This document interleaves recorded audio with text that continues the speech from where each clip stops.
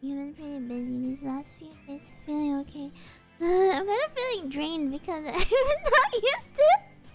I'm not used to going outside, so it's like it's so exhausting. and like if I have to, if I have to like uh me around the mini moves at home, I literally just I literally just stare at the wall and like like it's rude not to go, but it's also I don't know. It's also like you don't know what to talk about with like you literally there's nothing to do. You're just gonna sit there and listen to people like humble brag about their lives. Me, I was I just bought a new condominium and uh I started going to the gym and now I'm vegan. I don't hear that bullshit.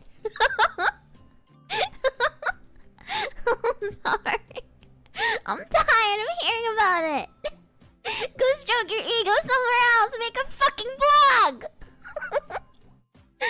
oh my gosh. Ah. oh shit. yeah, seriously. Oh my god.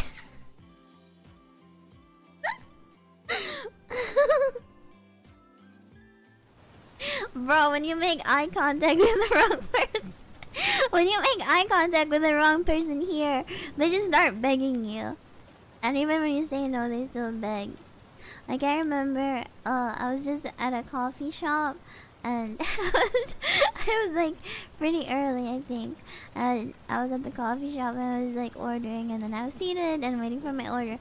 And then this freaking dude walks like is at the door, opens the door and says, Ma'am, can I have some money? And I was like, oh no. What? Where's the guard for this place? Oh no. oh my gosh. I was so overwhelmed. oh gosh.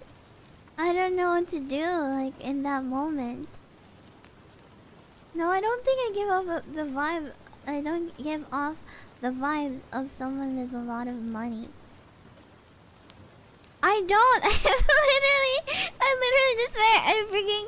Okay, if I'm not feeling like cute, I just, I just wear a freaking anime shirt with freaking shorts. I literally look like a loser. you can't ask me for money. you literally I'm like the freaking. I'm like. I'm like the people repellent or something. like when you see me from a distance, you're gonna be like, okay, time to avoid. time to avoid.